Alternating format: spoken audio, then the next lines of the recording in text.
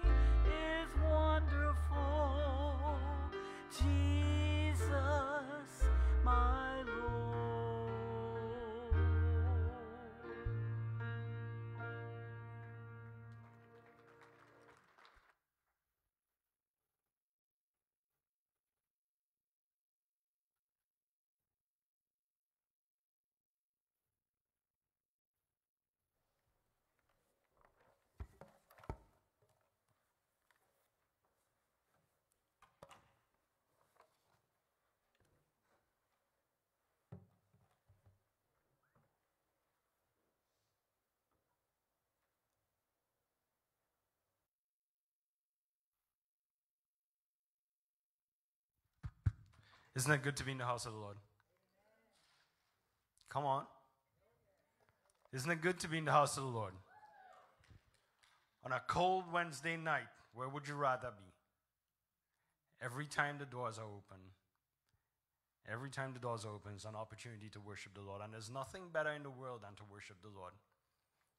I don't know about you, but after a day like today, this is where I need to be. The lesson today is entitled Jesus Reveals His Divinity. Jesus is the Son of God and the Son of Man. I hope you could see the projector. Caitlin explained that there was an error where the resolution doesn't come out as well as it is, as it should, but hopefully you could see it. The entire lesson comes from Mark 8:27 through 9:13 and I'm going to have the scriptures up there too if you want to follow along. I normally like to teach from the NIV just simply because I understand it a little bit more and it reads a little bit easier for me, but that's me, okay? So bear with me. What we're going to talk about today is Peter's confession that Jesus is the Messiah. We know from Scripture that Peter didn't want to believe that Jesus had to die to fulfill his mission. Peter's confession that Jesus is Lord, Jesus' prediction of his death, and his transfiguration were all related events preparing Jesus to complete his works by means of his death, resurrection, and ascension. What we're going to talk about today is usually is believed, is generally believed that this happened about eight months prior to the crucifixion of Jesus. Peter's confession that Christ, that Jesus is the Christ, the Son of the living God, is often referred to as the Great Confession, but he wasn't the first to do so. Nathanael, who was called Bartholomew, made the great confession when he first met Jesus. John 1:49 tells us, then Nathanael declared, "Rabbi, you are the son of God. You are the king of Israel." It's really important to to read that last part, "You are the king of Israel," and that, that plays an important role later on down the lesson. We know later on that Peter confessed the same thing too. He said, You are the Messiah, the Son of the living God. We know that in Matthew 16 16 and in the lesson that we are about to read today.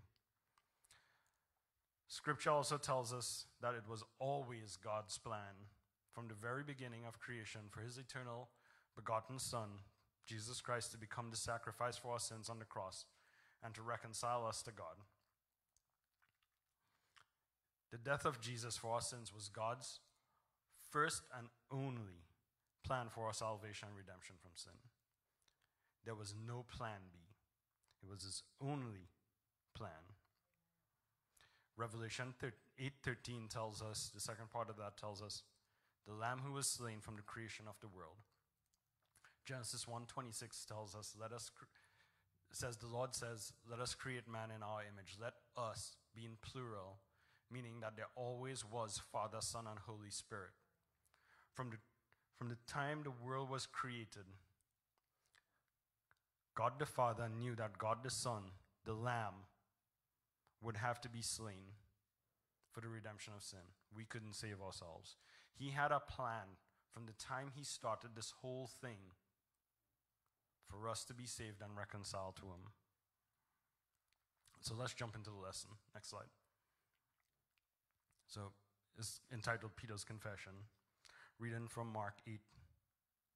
Uh, uh, oh, says 28, but it meant to be 8. Typo. Mark 8, verse 7. Jesus, I had this wrong. Mark 8, 27. I put the 2 in the wrong place. Oh my goodness. Jesus and his disciples went on to the village around Caesarea Philippi. On the way, he asked them, Who do people say I am? They replied, Some say John the Baptist, others say Elijah, and still others, one of the prophets. It's interesting to note a couple things about Caesarea Philippi. It was a city about 25 miles north of the Sea of Galilee, and Jesus often traveled there for a time of personal renewal and ministering to his disciples, because he knew the disciples would eventually have to carry on his ministry. Although Jesus ministered to thousands of people, he recognized the importance of personal prayer and teaching. Personal prayer meaning one on one time with him and his Father, and teaching, passing that down to his disciples. Is really more interesting to note where this place was. Caesarea Philippi, 25 miles north of the, of the Sea of Galilee, puts it smack in the middle of Samaria. You know, the Samaritans and the Jews didn't get along. What this proves is who Jesus was. He was Lord not just for the Jews, but for the Gentiles. Remember the, the woman at the well, where she was? When she recognized who Jesus was, she was a Samaritan. He was in Samaria. Jesus proved by going to Caesarea Philippi that he was not just Lord for Jews, but he was Lord for us too. Is there that Jesus questioned his disciples about who people said he was. And their answer revealed three main trains of thought or prominent opinions about who Jesus was up to this point in time. They thought he was the reincarnation of John the Baptist. How in the world could they think that he was the reincarnation of John the Baptist? First of all, that was physically impossible. John the Baptist baptized Jesus in the Jordan River. How could Jesus be the reincarnation of John the Baptist? Well, for one, there's no such thing. But how could they even think that? They thought he was, the second train of thought was that he was the reincarnation of Elijah, returned to earth to reveal the Messiah. Remember, Elijah was supposed to return first to reveal the Messiah. And then they, they thought that he was the reincarnation of of the ancient prophets. They refused to believe or they just couldn't see who he really was. People, people in general. Reading on, 829. Jesus asked, But what about you? He asked. Who do you say I am? Peter answered, You are the Messiah. Peter answered, You are the Messiah. It's about time somebody recognized who he was, right? Jesus warned them not to tell anyone about him. So here's the thing. First, Jesus asked, What do, what do people say I am? And he listened to, to the disciples say what people say he was, or who people said he was. Now Jesus flips the question around on the disciples and asks, Who do you think I am? Do you follow those people, or do you really know me? See? He was asking these people who spent all the time around. And I can imagine Peter sitting there and he's talking to the 12, and then he says, Who do you think I am? See, Peter was the first disciple, and he was probably the oldest one too. And by virtue of his position of seniority, he probably assumed the role of spokesperson for both himself and the 12. And he was the one that got up and, say, and said, You are the Messiah. He rightfully identifies and confesses that Jesus is, is the Christ, the Messiah. And central to every version of this reply is the fact that Peter confesses that Jesus was the one foretold by the prophets. That's really important. But Jesus, if, if it was so important, why would Jesus tell his disciples right after that, don't tell anyone who I am? It's important that those who he was with knew who he was, but at that point he told them, don't tell anyone. That's kind of strange. I'd want to tell people Rick Brackett is the pastor of Matthew's Church of God, right? I want to tell people he's a good preacher. Why wouldn't, why wouldn't Jesus want his disciples? Well, here's the thing Jesus was the lamb that was meant to be slain from the time of creation. His death, resurrection, and ascension to the right hand of the Father was preordained by God the Father himself. From the time cre- from the time of creation, it was preordained. Jesus told the disciples not to tell anyone about him because he didn't seek out trouble and persecution from his enemies. The time of his death, res- resurrection, and ascension to heaven was preordained by God himself, and he wasn't going to do anything to allow, well, nothing could be done that could change that. But he wasn't going to give the enemies a chance to try to do it. Because you remember, people wanted to persecute him, people wanted to kill him. They were often trying to trap him. I want to read this from our, our lesson guide. With astounding capacity available today to disperse information and communication via the internet, there has never been a time before now when there was such a concerted effort by the unbelieving world to deny the identity of Jesus as the Messiah and the Son of God. In a world that denies the existence of God, there can be no Son of God. But, in fact, God is, and also is His Son, Jesus Christ. We who have made and hold to great confession, that is the confession that Jesus is Messiah, must depend on the power of the gospel and the conviction of the Holy Spirit to convince others to make the great confession.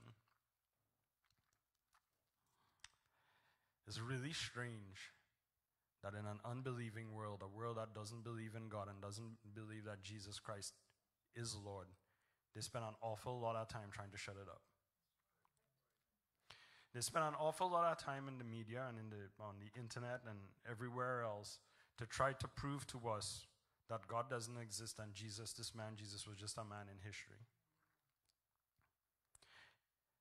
One, one thing that is central to every Christian believer is that we must depend on the power of the Holy Spirit to help us convince others to make that same great confession that Jesus Christ is Lord.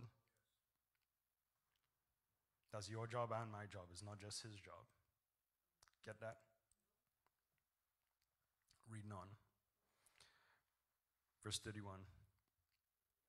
Jesus began to teach them that the Son of Man must suffer many things and be rejected by the elders, the chief priests, and the teachers of the law, and that he must be killed and after three days rise again.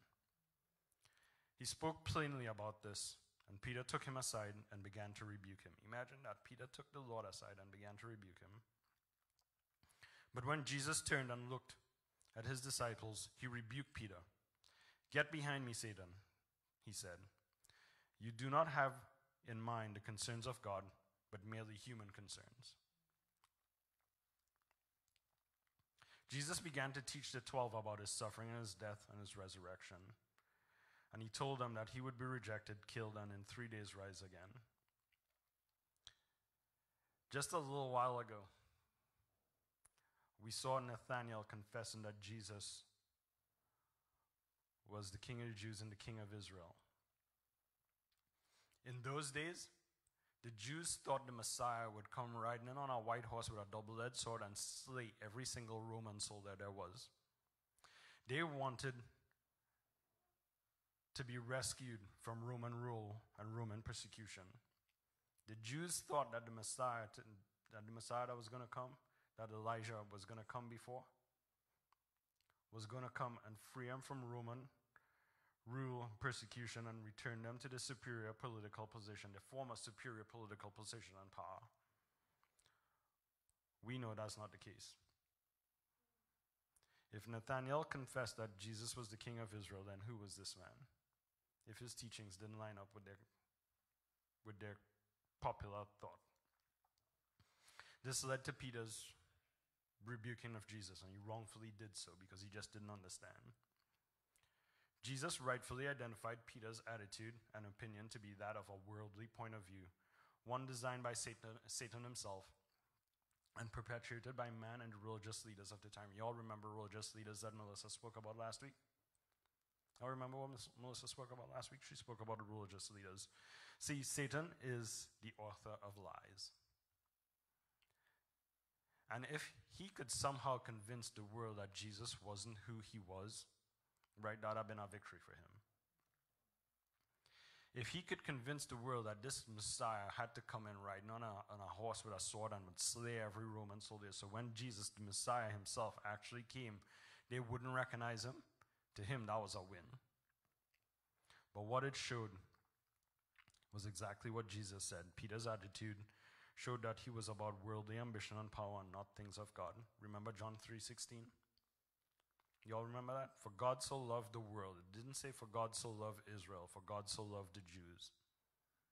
The Messiah came to save the world and not just the people around Peter. Peter, see, he bought in a little bit to the common thought that the Messiah would come and rid them of the Roman soldiers.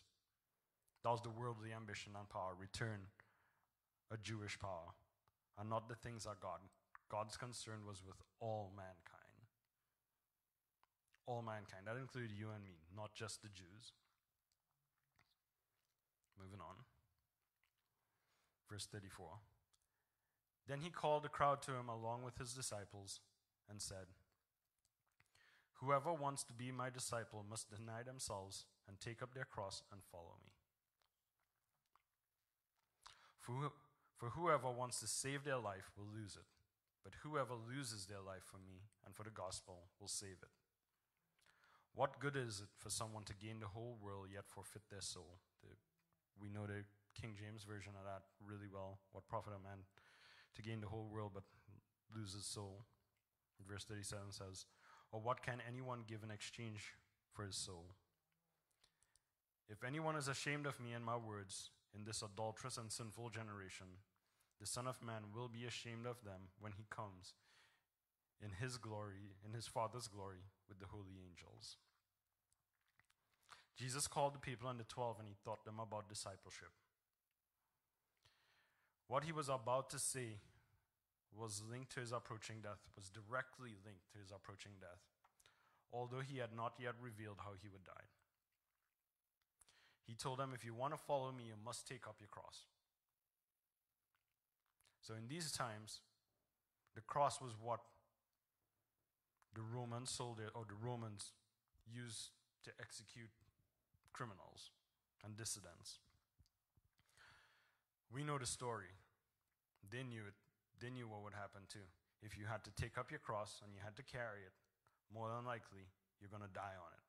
That's just what they did.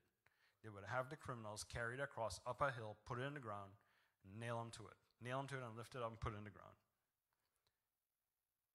Jesus was telling the people and the 12 that he was talking to, his 12,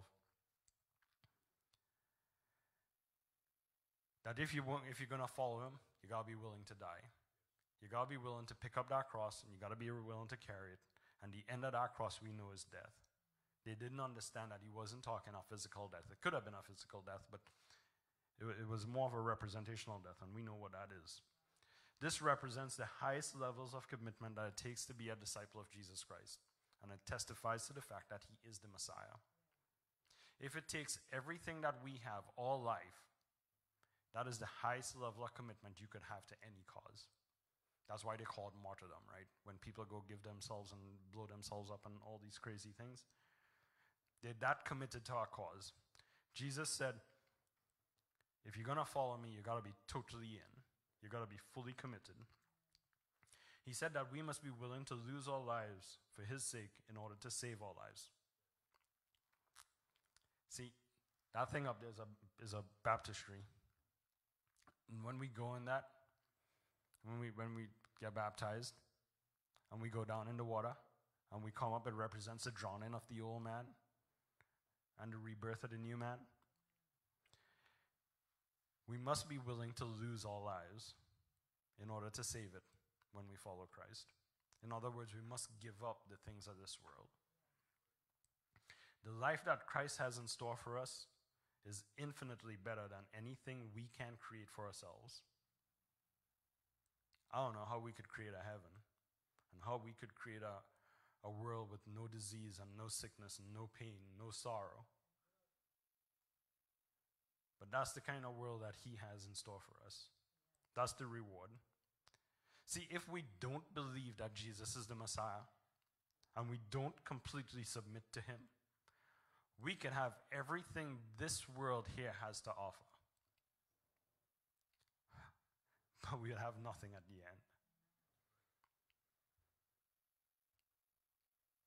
You can imagine that? I can't imagine heaven. I could, I could try. But I can't imagine. Whew, it's powerful. Salvation is found in being identified with Christ in this sin cursed world. And if we identify with Christ, that means we don't identify with the world. That means if we identify with Him, we lose the things of this world. I would rather lose the things of this world than lose my soul any day. Hear that? I would rather lose the things of this world than to lose my soul any day. And that's why he came, so we didn't have to lose our souls. Tempted to get ahead of myself. The rewards for following Christ are the, best and they're eternal. That means we could never lose them once we follow him. He never issues a, a call to easy discipleship. See, although he promises life everlasting, and he promises us this eternal life where there's no sickness, no pain, no sorrow, none of the bad things in this world, is not an easy life to discipleship, right? Although salvation is free and was paid for in blood by Jesus, Christian discipleship requires much. It, require, it requires the complete commitment and surrender to Jesus as Lord and Savior. What does that mean, complete surrender? It means taking up that cross, dying to the world. It means following His. It means following His word, following His teaching each and every day. We humans, right? So we're going to fail. But that's not an excuse to fail. Somebody, somebody got to say amen or something to that one. It's not an excuse to fail. The blood of Jesus Christ shed on the cross is not your and my excuse to go do everything that is stupid under the sun. Because he promised us that if we believe in him, that we would have life everlasting, that don't mean we have the right to go out and abuse it. Because every time we do, guess what? We bang those nails right back into his hands. Getting ahead of myself. Chapter 9, verse 2. After six days, Jesus took Peter, James, and John with him and led them up a high mountain where they were all alone.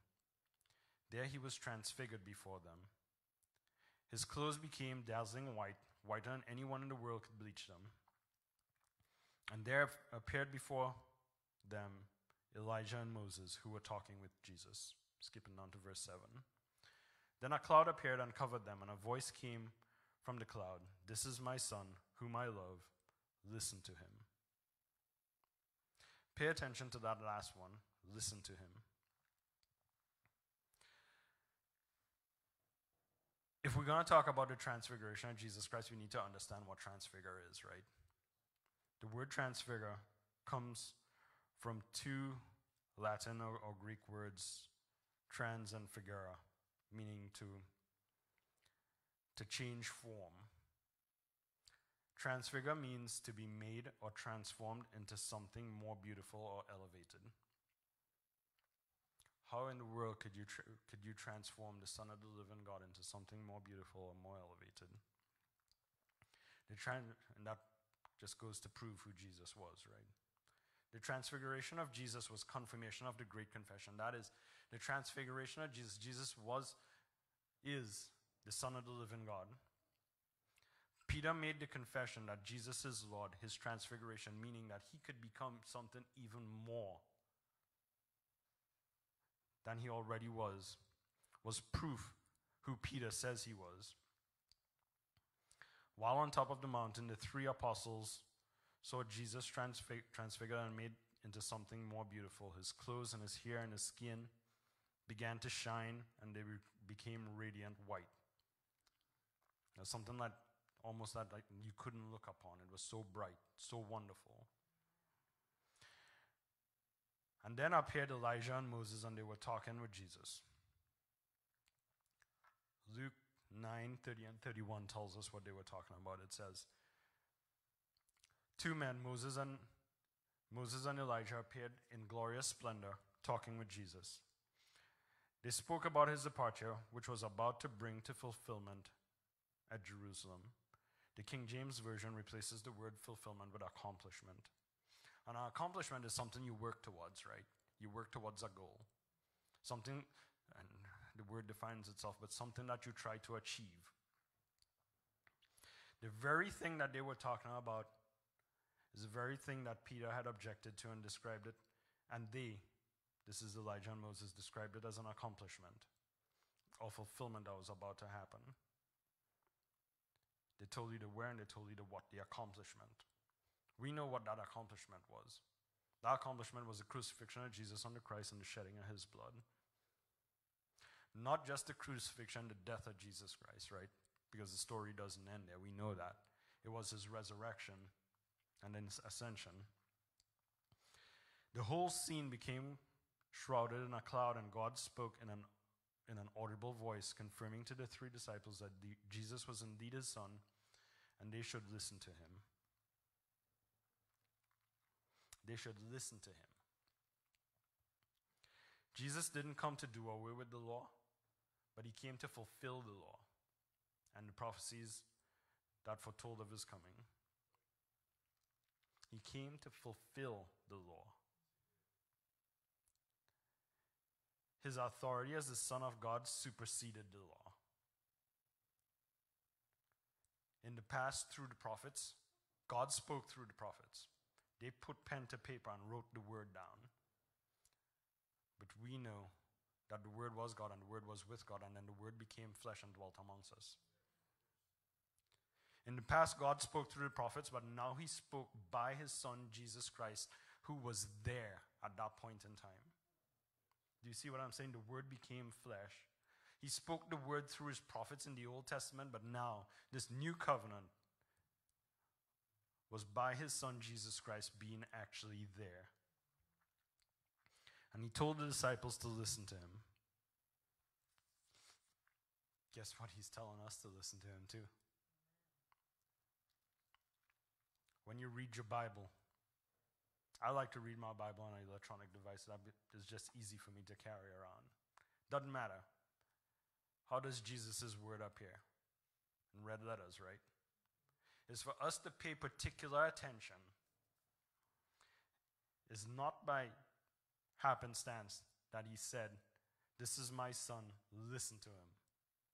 That's why the words are in red letters. Not just so that we would know that Jesus was speaking these words, so that we would pay particular attention to what he was speaking. So that we would listen. Not just hear, but listen. And not just listen, but heed. I'm almost finished, I promise. The transfiguration, continuing uh, chapter 9, verse 9. As they were coming down the mountain, Jesus gave them orders not to tell anyone what they had seen until the Son of Man had risen from the dead. They kept the matter to themselves, discussing what rising from the dead meant. And they asked him, Why do teachers of the law say that Elijah must come first? Jesus replied, To be sure, Elijah does come first and restores all things. Why then is it written that the Son of Man must suffer much and be rejected?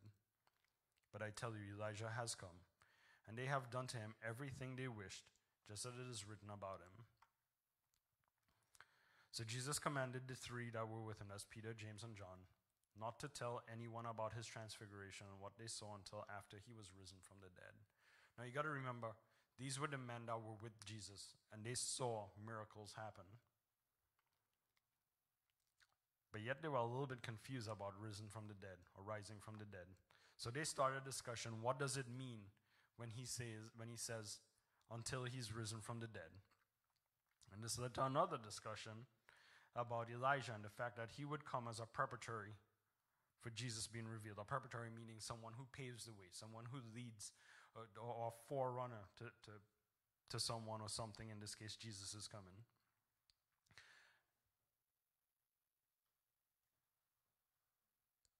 They mistakenly interpret this literally. They thought they were going to see the man Elijah coming down, preparing the way for Jesus. Isaiah 43 tells us a voice of one calling in the wilderness, prepare the way for the Lord, make straight in the desert a highway for our God. Malachi 3:1 also tells us, I will send my messenger who will prepare the way before me. Then suddenly the Lord you are seeking will come to his temple. The messenger of, of the covenant, whom you desire, will come, says the Lord Almighty. They didn't realize that Elijah had already come, figuratively, in the form of John the Baptist, who paved the way for Jesus Christ to be revealed. Jesus' command to his disciples to not say anything about his transfiguration might have been the same as before. The fact that God preordained the time, the way, the place, and everything for Jesus to die, rise again, and ascend to heaven. Jesus knew his enemies were out to entrap him, and nothing, nothing could stop the preordained destiny that he had to fulfill, that accomplishment that he had to, to fulfill. By his death, resurrection, and ascension, his death, resurrection, and ascension was, was preordained by God to happen at a particular time. I'm almost finished. I'm going to read this from our lesson. It is important to remember that Christ's desire for his disciples was that they would come, come to know the truth regarding his divine identity. And yet, the means by which that was to be accomplished was a process. A process. So, also within our own lives, we must understand that seeking greater intellectual and exper- experiential knowledge of Jesus Christ is a process that will continue for guess how long? For the rest of our lives. Meaning, you don't just become a Christian and follow Jesus here, you get baptized, you say, I believe in the Lord, and you're done. It continues for the rest of your life. This one, once saved, always saved, one and done thing, that's a fallacy, right? Because you're supposed to follow him every day of your life. After more than 20 years as a believer in Christ, the apostle, the apostle Paul's ambition regarding Christ was from Philippians 3:10 was that I may know him and the Apostle Peter's last exhortation to his fellow Christians, and that is us, was to grow in grace in the knowledge of our Lord and Savior Jesus Christ. Peter, the last thing he said was for us to grow in grace and knowledge of our Lord and Savior Jesus Christ. That means each and every day get to know him a little bit better. That means, like your best friend, get to know him a little bit better. That means like your wife or husband that you live with every day, that you learn a little bit more every day until death do us part. You get to know him that way each and every day.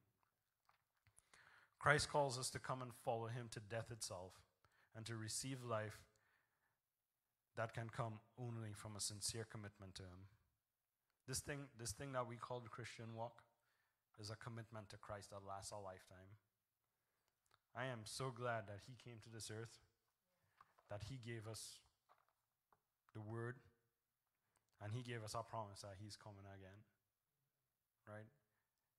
And if we believe the things written in the Word, which I do, I know the time is soon. I thank you for your attention. Pastor, I thank you for the opportunity to do this. God bless you all.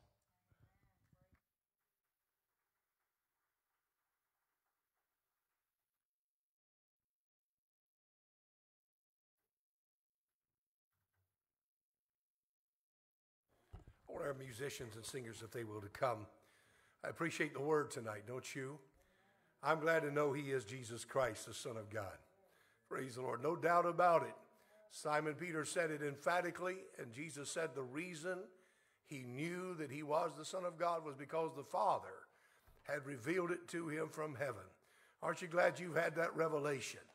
God has opened our eyes to see the truth, and the truth has set us free. We're here tonight because we believe Jesus Christ is the Son of God. Would you stand and I want us to get ready to pray. So many needs to pray about, but praying especially for one another. These are the last days. Our lesson next week is about the end times. We're seeing it unfold and fulfilled right before our eyes. We're, we're so near home until it's un, unbelievable that so many people are unprepared and not even looking for the Lord to come. We should be ready, watching, and praying. And I know He is coming soon. Would you come tonight if you possibly can and find a place to pray? Pray for one another. Pray for the lost. Pray that God will help us to win them. If you can't come, pray right where you are.